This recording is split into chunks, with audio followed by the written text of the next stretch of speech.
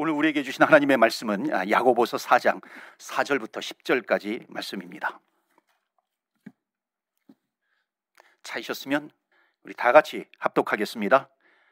가늠한 여인들아 세상과 벗된 것이 하나님과 원수됨을 알지 못하느냐 그런즉 누구든지 세상과 벗이 되고자 하는 자는 스스로 하나님과 원수되는 것이니라 너희는 하나님이 우리 속에 거하게 하신 성령이 시기하기까지 사모한다 하신 말씀을 헛된 줄로 생각하느냐?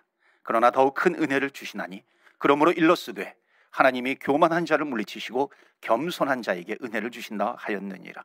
그런즉 너희는 하나님께 복종할지어다. 마귀를 대적하라. 그리하면 너희를 피하리라. 하나님을 가까이 하라 그리하면 너희를 가까이 하시리라. 죄인들아 손을 깨끗이 하라. 두 마음을 품은 자들아 마음을 성결하게 하라. 슬퍼하며 애통하며 울지어다. 너희 웃음을 애통으로 너희 즐거움을 근심으로 바꿀지어다. 주 앞에서 낮추라. 그리하면 주께서 너희를 높이시리라. 아멘.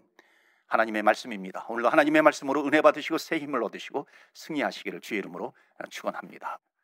오늘 우리에게 주시는 어, 하나님의 말씀 겸손한 자에게 베푸시는 은혜라고 하는 제목을 가지고 말씀을 전하도록 어, 하겠습니다. 지난 주에는 어, 야고보서 4장 1절부터 3절까지 말씀을 드렸고요. 원래 야고보서 4장 1절부터 10절까지 연결되는데 지난 주에는 1절부터 아, 3절까지 먼저 말씀을 드렸습니다. 제목은 탐욕의 결과였죠. 그러니까 욕심의 결과는 무엇인가? 탐욕의 결과는 무엇인가? 세 가지를 말씀을 드렸습니다. 탐욕의 결과는요. 다음과 다툼과 싸움을 일으킨다는 것입니다. 그리고 얻는 것이 없다는 겁니다. 아무것도 얻는 것이 없게 만드는 것이고요. 또 가장 큰 것이 뭐냐면은 기도의 응답을 회방하는 것이 뭐냐면 나의 욕심이다라고 하는 겁니다. 자, 그래서 오늘 본문의 말씀 4절로 이어지는데요. 4절 말씀 보시면은 가늠한 여인들아 세상과 벗된 것이 하나님과 원수됨을 알지 못하느냐. 그런즉 누구든지 세상과 벗이 되고자 하는 자는 스스로 하나님과 원수 되는 것이니라. 그러니까 자기의 욕심을 가지고 사는 사람은 뭐냐면 어떤 사람이냐면 세상과 벗하면서 사는 사람이라는 겁니다. 그러니까 세상과 벗하면서 사는 사람은 결국 하나님과 벗하지 못한다는 겁니다. 하나님과 원수가 되어 간다는 것이죠. 그래서 5절 말씀에 보시면은요.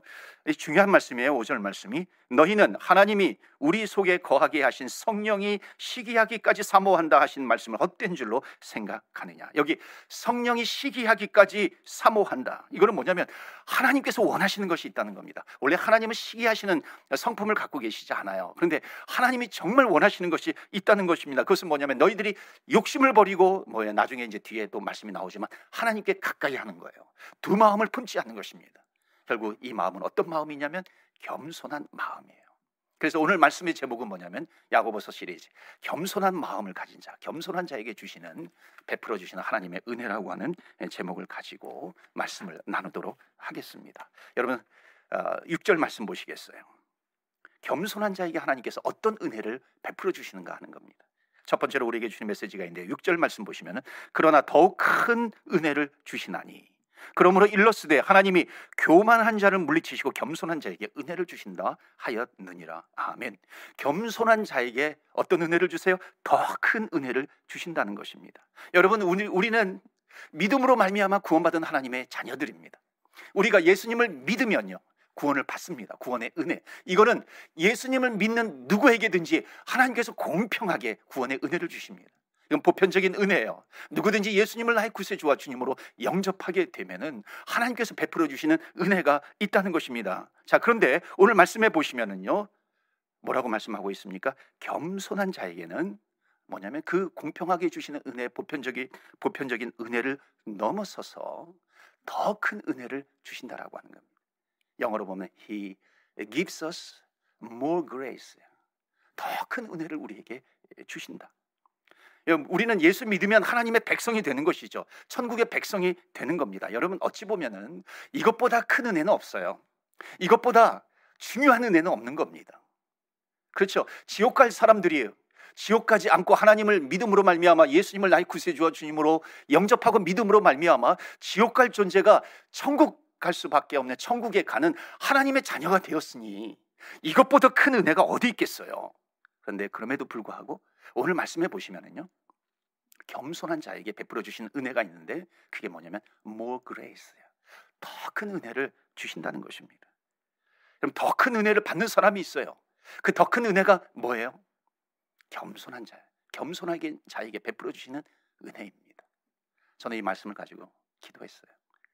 하나님 겸, 이 겸손한 자에게 더 큰 은혜를 주신다 그랬는데, more grace가 주신다 그랬는데, 이 more grace가 무엇인가요? 더 큰 은혜가 무엇인가요? 그러니까 기도할 때 하나님께서 깨닫게 해주시는 마음이 있어요. 이제 개인적으로 제가 기도하면서 하나님께서 주신 마음이에요. 그것은 뭐냐면 더 큰 은혜는 어떤 은혜냐면 계속해서 은혜가 따라다닌다라고 하는 겁니다. 따라다니는 은혜를 하나님께서 주신다는 것입니다. 끊어지지 않는 은혜라고 하는 거예요. 이른 비와 늦은 비를 주신 늦은 비의 은혜를 주시든지 하나님께서 끊어지지 않는 그런 은혜를 주신다. 그러니까는 겸손한 자는 누구입니까? 은혜가 따라다니는 사람이 겸손한 사람이라는 겁니다. 여러분, 인간이요. 살아갈 때 자기 노력으로 살아가는 사람이 있고 은혜로 살아가는 사람이 있습니다. 노력 위에 은혜가 따라다니는 사람이 있어요. 여러분, 은혜가 따라다니는 사람은 절대로 이길 수가 없는 것입니다. 그러니까 은혜가 따라다니는 사람은요. 성경적으로 표현하면 뭐냐면 생각하지도 않은 은혜를 하나님께서 주신다는 겁니다. 그러니까 생각하지도 않았어요. 기대하지도 않았어요. 그 기대하지도 않은 은혜를 하나님께서 베풀어 주시면은 전화위복의 역사가 나타나는 것이에요. 그러니까 내가 겸손한 자예요. 주님을 붙들었어요. 하나님의 은혜가 임해요. 그러면은 전화위복의 역사, 반전의 역사가 나타난다는 것입니다. 그렇기 때문에 사랑하는 성도 여러분, 내 인생은 왜 이렇게 구질구질해? 내 인생은 왜 이렇게 어두움이야? 어두운 캄캄한 터널을 끝이 없는 터널을 지나가는 것 같아. 내 인생은 왜 이렇게 상처투성이고 내 인생은 왜 이렇게 구석졌고 내 인생은 왜 이렇게 고통이야 고통이야 고통이야. 그러나 그 가운데서도 내가 겸손하게 하나님을 붙들게 되면요 겸손한 자가 되면은 전화이복의 은혜가 있다는 겁니다. 반전의 은혜 따라다니는 은혜가 있다는 거예요. 반전하는 역사가 있다는 것을 말씀하고 있는 것입니다. 그렇기 때문에 여러분 어떤 인간의 노력이 그 따라다니는 은혜가 임하는 사람을 이길 수 있겠습니까? 여러분 이것은 노력하지 말라라고 하는 것이 아니죠. 우리는 노력을 해야 됩니다. 여러분 노력을 하십시오. 그러나 그 노력 위에 하나님의 끊이지 않는 따라다니는 은혜가 임할 수 있도록 뭐 하라고요? 겸손하라고 하는 것입니다. 그래서 우리는 기도해야 돼요. 하나님 정말 하나님의 은혜가 끊이지 않게 해 주시옵소서. 은혜가 따라다니게 해 주시옵소서. 은혜가 없으면 살 수 없습니다. 여러분 우리가 아침에 일어나면요 제일 먼저 해야 되는 기도가 뭔지 아십니까? 그레이스예요. 은혜예요. more grace. 그래서 하나님 오늘도 하나님의 은혜가 끊어지지 않게 하시고 은혜가 따라다니게 하여 주시옵소서. 여러분 은혜가 따라다니게 되면은요 승리하게 된다는 것입니다. 그런데 오늘 놀랍게도요 본문에 보시면요 은혜가 따라다니는 사람 어떤 사람에게 주시는가 겸손한 자에게 주신다는 겁니다. 뭐 그레이스야 더큰 은혜를 주신다는 것입니다. 여러분 겸손을 유지하시길 바랍니다. 그래서 오늘 첫 번째 우리에게 주시는 메시지는 뭐냐면 겸손한 자에게는요 따라다니는 은혜가 임하게 되어 있다는 것입니다. 은혜가 따라다니는 거예요. 성경에서 은혜가 따라, 다니면요 우리가 생각하는 것보다도 더 큰 역사가 있다는 것입니다. 그래서 에베소서 3장 20절 말씀해 보시면 우리 가운데 역사하시는 능력대로 우리가 우리가 간구하고 우리가 기도하고 우리가 생각하는 것 그 이상으로 하나님께서 베풀어 주시는 은혜가 있다는 겁니다. 넘치도록 뭐라 그럽니까? 능력을 하실 이에게. 그러니까 내가 구하는 거나 생각하는 것보다 넘치도록 부어진 부어진 부어지면요. 이게 웬 축복이에요? 웬 은혜인가요? 저도 보면 제 인생을 바라보면요. 돌아보면 넘치게 해주시는 은혜가 따라다니는 것입니다. 항상 기도하고 생각하는 것 이상으로 하나님의 은혜가 와 있는 것이에요. 나는 이렇게 했으면 좋겠다, 이렇게 했으면 좋겠다 생각하고 있는데 하나님의 은혜가 임하면은요, 그 은혜가 내가 생각하는 것보다 더 멀찌감치 가 있는 것입니다. 여러분 제 인생을 돌아보면은 참으로 깨지기 쉬운 그런 질그릇 같은 그런 인생입니다. 질그릇 같은 인생인데 하나님의 은혜가 부어지는 겁니다. 하나님의 은혜가 부어지면요. 그 은혜의 잔이 모자라지 않습니다. 질그릇 같은 잔인데 하나님께서 은혜를 베풀어 주세요. 제가 어, 제 창피했던 부끄러웠던 경험을 하나 좀 나누도록 하겠습니다. 제가 몬트리올 어, 감리교회 부임하자마자 그때가 지금으로부터 22년 전입니다. 2020년 5월 이번 달이네요. 5월 4일 날 제가 아, 처음 이제 부임을 그 했으니까요.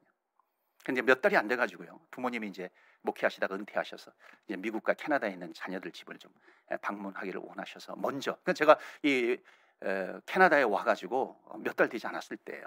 그러니까 제가 잘 모르죠. 그러니까 미국에 이제 먼저 방문하셨다가 이제 제 여동생이 그때 미국에서 이제 남편과 함께 이제 목회를 하고 있었는데 거기에서 이제 방문했다가 이제 몬트리올로 오는 거예요. 몬트리올로 오는 거리는 제 동생은 버몬트 주에 그 벌링턴이라고 있었어요. 벌링턴 시의 그 시골 도시였는데요.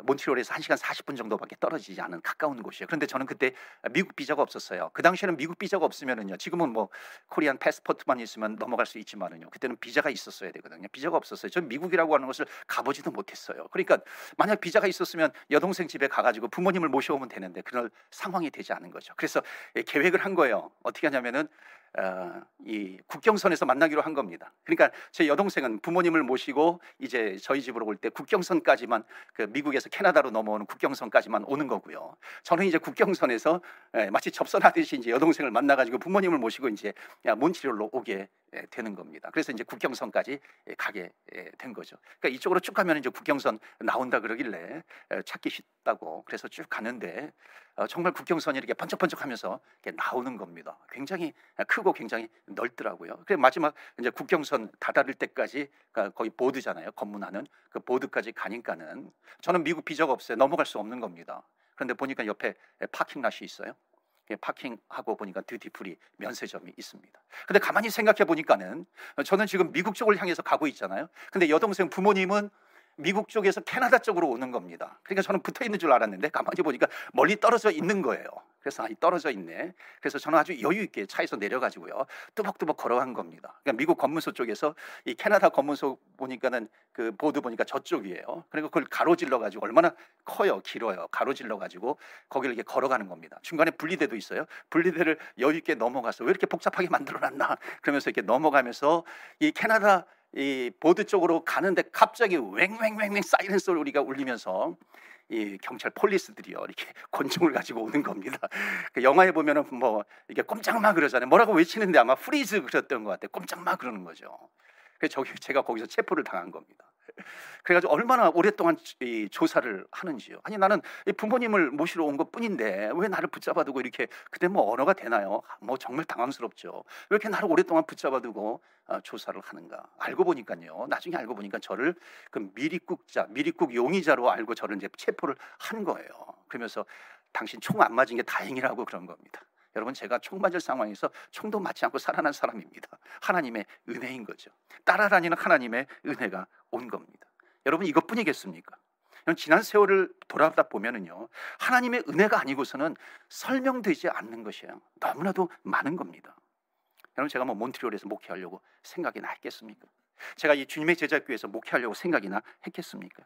그러나 여러분 혹시 따라다니는 은혜 때문에 내가 과거에 불행한 일들이 있었는데 그러면 나는 겸손하지 않는 건가? 따라다니는 은혜가 없는 건가? 여러분 그, 그렇게 생각하지 마십시오. 그게 아니라 핵심은 뭐냐면 겸손한 자에게 베풀어 주시는 하나님의 은혜가 있다는 것입니다. 그때 그때마다 하나님께서 주시는 은혜가 있어요. 여러분에게 하나님의 은혜가 따라다니기를 축원합니다. 그러기 위해서는 뭐라고요? 겸손한 자에게 more grace 더큰 은혜를 베풀어 주신다는 것을 말씀하고 있습니다 저는 생각해 보았어요. 왜 은혜가 따라다니는가? 왜 은혜가 부족한 깨지기 쉬운 질그릇 같은 그런 인생인데 왜 하나님께서 차고도 넘치는 그런 은혜를 주시는가? 뒤를 돌아보면은 내 인생의 그 역사를 이렇게 훑어보면은 하나님께서 베풀어 주시는 그 은혜를 하나님께서 왜 주셨는가?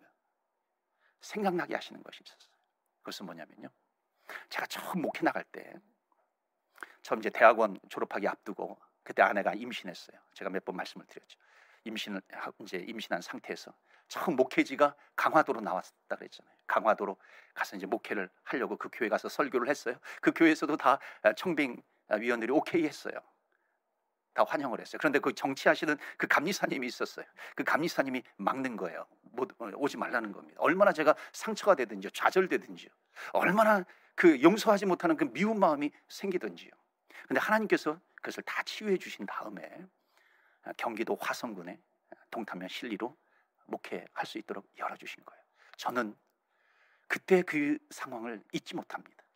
처음 그 목회 나갔을 때에 첫 예배 때 10명도 되지 않은 제 기억으로는 8명이 8명인데 10명도 되지 않는 그것도 이제 새로 전도사님이 왔다고 나오지 않던 사람들도 다 온 게 성인들 8명 10명이 되지 않아요. 그때를 기억할 수 잊지를 못합니다. 그때 하나님께서 주신 마음이 있어요. 그 마음이 뭐냐면 비록 10명도 안 되는 인원이지만 한 영혼 한 영혼이 너무나도 귀하다는 거예요. 그래서 하나님 정말 한 영혼을 위해서 목숨을 걸겠습니다. 한 영혼 영혼이 얼마나 소중한지 알겠습니다. 제가 지난주에 특별히 정말 간절하게 기도하는 한 주간이었어요. 정말 애통하는 마음으로 눈물을 흘리면서 기도할 수밖에 없는 그런 한 주간이었어요. 하나님 정말 이 진실한 마음으로 주님 앞에 기도합니다. 이 첫 마음, 첫 마음. 하나님 앞에 약속했고 한 영혼 영혼이 소중하다라고 하는 이 첫 마음을 잃어버리지 않게 해주옵소서. 저는 알아요. 만약 첫 마음을 잃어버리면요. 그때부터는 내 목회 인생은 내리막길이 된다는 것을 저는 너무나도 알아요.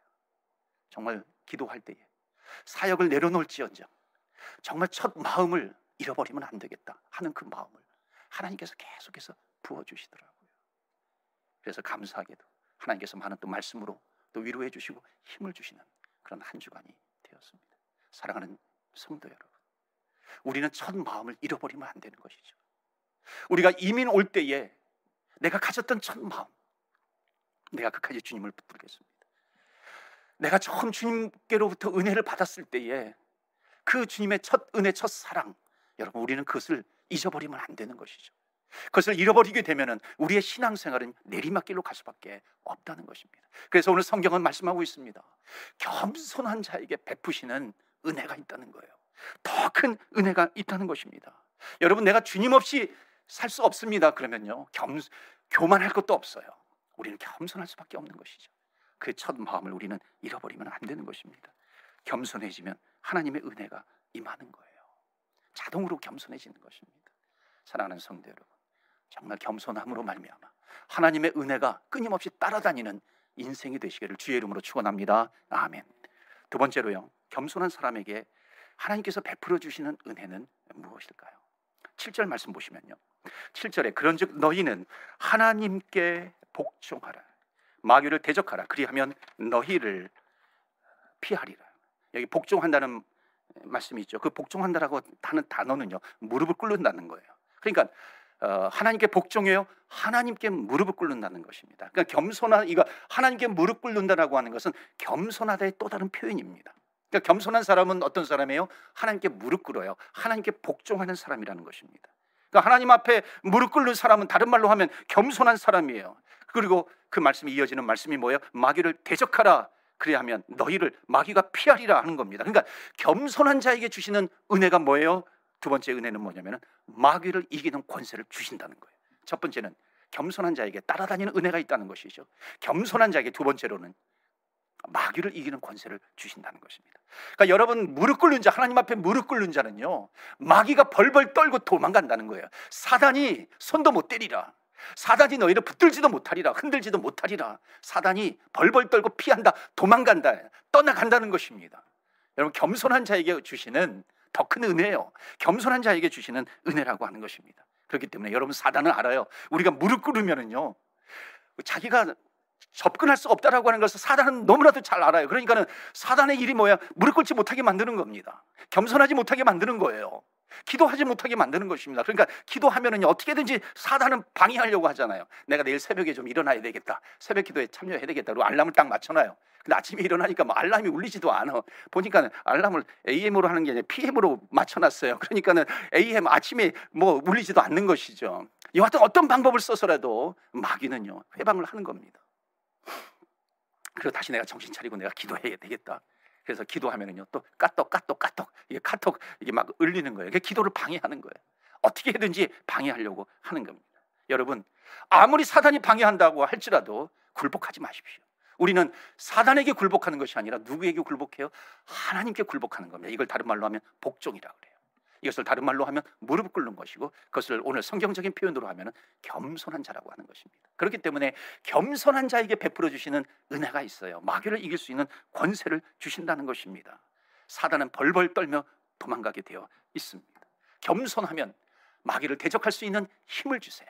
여러분 한번 생각해 보세요. 모세라고 하는 사람이요. 모세 하나님께서 처음 부르실 때 가라 모세야 너는 저 애굽 땅에서 신음하는 내 백성들을 이끌어서 저 가나안 땅으로 인도해 내거라. 그때 모세가 뭐라 그래? 하나님 저는 입술이 뻣뻣한 자입니다. 저들이 만약 질문하면 나는 대답할 수도 없어요. 여러분 겸손입니까? 교만입니까? 여러분 이건 절대로 겸손이 아니에요. 다윗은 어땠어요? 골리앗 장군 앞에서요.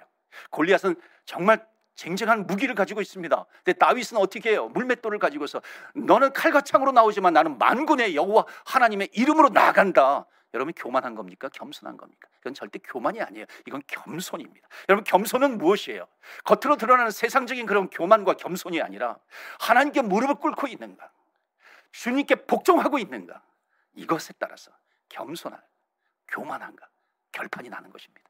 그래서 오늘 주시는 두 번째 메시지는 뭐냐면 너희도 겸손해라. 마귀를 이길 수 있는 힘을 주신다라고 하는 것입니다. 여러분 마귀와 싸워 승리하시기를 축원합니다. 한번 따라서 해보실까요? 사단아 물러가라. 그러면 사단이 비웃어요. 여러분 그렇게 외치면 다시 마귀야 물러갈지어다. 마귀야 물러갈지어다. 마귀가 벌벌 떨며 도망가게 될 줄로 믿습니다. 여러분 마귀는 봐주면 안 되는 거예요. 사단은 물리쳐야 되는 것이에요. 무엇으로 물리쳐요? 기도로, 선포로. 그게 겸손입니다. 그래서 주님 앞에 무릎 꿇는 자가 겸손한 자가 되는 겁니다. 여러분 가정에, 여러분 가정에 마귀가 사단이 한 발자국도 들여놓지 못하도록 여러분 마귀와 싸워서 이기시기를 바랍니다. 겸손하게 주님 붙들고 이기시기를 바라요. 한 발짝도 허용하지 마시기를 바랍니다. 여러분 내 생각 속에 마귀가 들어오면요 즉시 쫓아내시기를 바래요.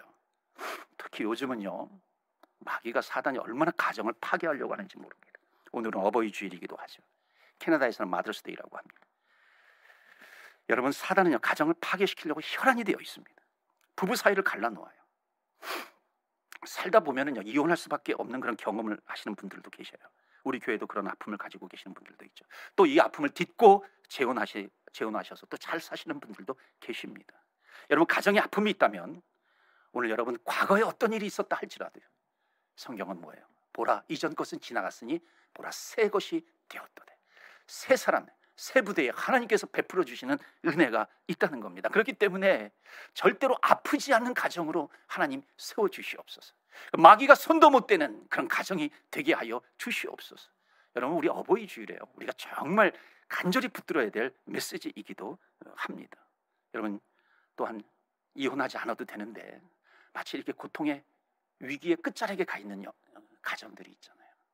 오늘 말씀을 듣고 회복되는 은혜가 있기를 바랍니다. 여러분 또한 마귀는요 손을 댄다 가정에 손댄다라고 하는 것은 뭐냐면 부모와 자녀 사이를 자꾸만 갈라놓습니다. 형제와 형제 사이를 자꾸만 갈라놓는 거예요. 그러니까 우리는 믿음의 가정들이에요. 믿음의 식구들이기 때문에 말씀을 붙들고 말씀을 붙들고 일어날 때에 하나님께서 회복시켜 주시는 은혜가 있다는 것입니다. 그것 때문에 우리는 기뻐하죠. 그것 때문에 우리는 만족하며 살아갈 수 있어요. 이런 은혜가 오늘 있기를 축원합니다. 여러분 놀라운 통계 중에요. 통계 중에 하나가 예수 믿는 가정이나 예수 믿지 않는 가정이나 이혼율이 똑같다는 겁니다. 여러분 놀랍지 않으세요? 예수 믿는 가정이나 예수 믿지 않는 가정이나 이혼율이 똑같대요. 여러분 이것은 무엇을 얘기하는 거예요? 신앙 따로, 삶 따로라고 하는 거예요. 다 따로따로 되어 있는 것이 있어요. 되어 버렸어요. 여러분 우리 어, 기독교에서 우리가 정말 오해하지 말아야 될 말씀이 몇 가지가 있어요. 그게 가정하고 연결이 되어 있습니다. 그래서 제가 오늘 한 구절을 좀 어, 소개를 합니다. 이 구절 때문에 기독교는 가정을 별로 소중하게 생각하지 않아. 이렇게 얼마나 많은 오해를 주는지 모릅니다. 교회는 교회가 최고야. 교회가 제일이야. 그래서 예수 믿는 게 제일이야. 선교가 제일이야. 그런 이런 생각을 하기 때문에 가정에 대해서 조금 무책임해도 소홀해도 괜찮겠지 하는 마음이요. 이 성경을 잘못 해석했기 때문에 해석하기 때문에 그렇습니다. 한번 보실까요? 누가복음 14장 26절입니다. 누가복음 14장 26절 말씀 보시면 이런 말씀이 있어요. 무릇 내게 오는 자가 이제 주님을 믿고 주님께 나가는 자예요. 주님을 믿는 믿음의 생활을 하는 자입니다. 하나님께서 준 꿈과 비전을 갖는 자예요. 자기 부모와 처자와 형제와 자매와 더욱이 자기 목숨까지 미워하지 아니하면 능히 내 제자가 되지 못하고요. 바로 이 말씀이에요. 그러니까 예수님을 따르려면 내 부모와 처자와 형제들도 다 미워해야 된다는 것입니다. 그러니까 주님을 따르면은 내가 비록 어, 가정을 소홀히 하는 것 이것에 대해서 양심의 이 가치를 느끼지 못해요. 오히려 더 영예롭게 생각해요. 또 주님을 진짜 사랑하는 거라고 오해합니다. 여러분 이건 왜 그러냐면 이 미워하다라고 하는 단어를 잘못 해석해서 그렇습니다. 여러분 이 미워하다라고 하는 말의 원래 뜻은 뭐냐면 영어로 말하면은 love less예요. 덜 사랑한다라고 하는 것입니다. 그러니까 내가 예수님을 믿기로 작정을 했어요. 예수님을 나의 구세주와 주님으로 영접했어요. 그러면은 하나님 예수님을 제일 사랑하는 거예요. 그리고 그 다음에 우리 부모님 또 어, 자녀, 우리 배우자, 또 우리 형제, 자매를 그 다음으로 사랑하게 된다는 것입니다. 이게 덜 사랑한다는 거, 이게 미워하다라고 하는 그런 뜻이 아니에요. 이거는 사랑의 질서를 얘기하는 겁니다. 그래서 어거스틴도 사랑의 질서라고 하는 이 고백록에 보면 정말 그 주옥 같은 사랑의 질서에 대해서 잘 이렇게 정리를 해 놓았죠. 그런데 이것을 잘못 해석해 놓으니까 말씀대로 산다고 하면서 가정에 무책임해도 되는 것처럼 합리화시켜 버리는 겁니다. 그러니까 목사 선교사는요, 그냥 가정을 등한시해도 괜찮다라고 하는 하는 할 정도로요. 아주 착각하게 이제 만드는 구절이기도 합니다. 그런데 그게 아니라고 하는 거예요. 자, 그러면 두 번째로 이거예요. 왜? 그럼 예수님이 날 따라오려거든. 이거예요. 부모와 또 처자와 형제를 덜 사랑해도 어, 사랑해야 되느냐 이렇게 말씀하는 건지 아십니까? 여러분 무엇이든지 간에 내가 예수님을 믿었어요. 예수님을 믿고 난 다음에는 그 다음에는 하나님 예수님 사랑하는 것이 첫 번째가 되어야 되는 겁니다. 그 다음에 부모님, 자녀, 형제를 사랑할 수 있어야 한다는 것입니다. 이게 만약 바뀌어 버리면 순서가 바뀌어 버리면 뭐예요? 그것은 우상숭배가 되는 것입니다. 그러니까는 하나님을 제일 사랑해야 돼요. 그 다음에 부모님, 우리 자녀 또는 형제 자매 가족 있어요. 그때 사랑해야 되는 것이죠. 근데 이 순서가 다 뒤바뀌어 버리면은요. 하나님 위에 올려놓게 되면 이것은 우상숭배라는 것입니다. 하나님은 우상숭배를 제일 싫어하세요. 우상의 목을 하나님께서 치시는 겁니다. 그러니까 만약에 하나님보다도요. 하나님보다도 우리의 부모님을 먼저 올려놓으면은요. 하나님께서 우리 부모님을 책임져 주시지 않는다는 것, 축복해 주시지 않는다는 것입니다. 하나님보다도 우리의 기업이 있어요. 우리 기업을 더 위에 올려놓게 되면은 하나님께서 그 기업을 돌봐주시지 않는다는 것이에요. 하나님보다도 우리의 자녀를 그 위에다 먼저 올려놓게 되면은 물론 하나님은 우리의 자녀들을 사랑하세요. 사랑하시지만요. 하나님께서 책임져 주시지 않는다라고 하는 것입니다. 그런데 하나님을 가장 사랑해요. 예수님을 가장 사랑해요. 이 사랑의 질서가 잡혀 있어요. 그러면 희한하게도요. 하나님보다도 우리의 자녀를 하나님 자녀를 하나님보다도 자녀보다도 하나님을 내가 더 사랑하게 되면 그리고 우리의 기업보다도 회사보다도 하나님을 더 사랑하게 되면 우리의 부모보다도 하나님을 더 사랑하게 되면은요. 이게 우선순위가 딱 되는 거잖아요. 그리고 하나님께 기도해요. 하나님, 우리 부모님을 위해서 기도합니다. 그러면 하나님께서 축복해 주시는 거예요. 우리 기업을 놓고 기도하게 됩니다. 하나님께서 돌봐주신다는 것이에요. 하나님께 우리의 자녀를 놓고 기도하는 거예요. 그럼 하나님께서 그 자녀를 붙들어 주시는 것입니다. 책임져 주신다라고 하는 것입니다. 이것이 바로 이 누가복음 19장에 나와 있는 이 구절이에요. 그러니까 가정을 자녀를 부모를 미워하라가 아니에요. 이것은 정말 하나님의 복을 누리게 하는 것이지요. 버리라고 하는 구절이 아니라 가정의 형통함을 위해서 가정의 형통함의 비결이 이 말씀 안에 담겨져 있는 것입니다. 그래서 사랑하는 성도 여러분, 정말로 부모님이 잘 되기를 원하고요. 자녀들이 앞길이 열리고 하시는 사업 가운데 주님의 은혜 따라다니는 은혜가 늦은 비와 이른 비로 계속해서 하나님의 은혜가 내리기를 원하신다면 여러분 하나님을 잊지 마셔야 돼요. 주님을 잊지 마시고요. 가장 하나님을 사랑하시기를 바랍니다. 제일 먼저 사랑하시는 거예요. 그래서 여호와를 경외한 지식의 근본이요. 여호와를 경외하는 것이 지식의 근본이거 근본이 뭐예요? 우선순위예요. 가장 앞서 있는 것입니다. 가장 먼저 해야 된다라고 하는 것입니다. 그렇기 때문에 성경은요. 가정을 미워하라 그런 것이 아니에요. 하나님을 가장 사랑하고 그 다음에 또 우리 가정을 사랑할 수 있도록 하면 하나님께서 덤으로 주시는 more grace가 계속해서 부어진다는 그런 말씀입니다. 또 하나님은 형제와 형제들이 싸우는 것을 원치 않으세요. 그래서 여러분 만약에 불편하다면 기도하시면 됩니다. 기도하셔서 하나님 우리 가정을 회복시켜 주시옵소서. 겸손하게 무릎 꿇고 주님의 말씀을 붙들고 기도하는 것입니다. 가정을 하나님 사단이 만지지 못하도록 하시옵소서. 여러분 겸손한 자에게 가정을 사단이 만지지 못하게 해주시다고 약속해 주셨습니다. 하나님께로부터 나신 자가 그를 지키심에 약 악한 자가 만지지도 못할 것이다. 그렇기 때문에 사랑하는 성도 여러분, 악한 자가 만지지도 못한다는 것이 무슨 뜻인가요? 아픔이 있는 가정은요, 아픔이 변하여 축복이 되는 그런 가정이 되기를 축원합니다.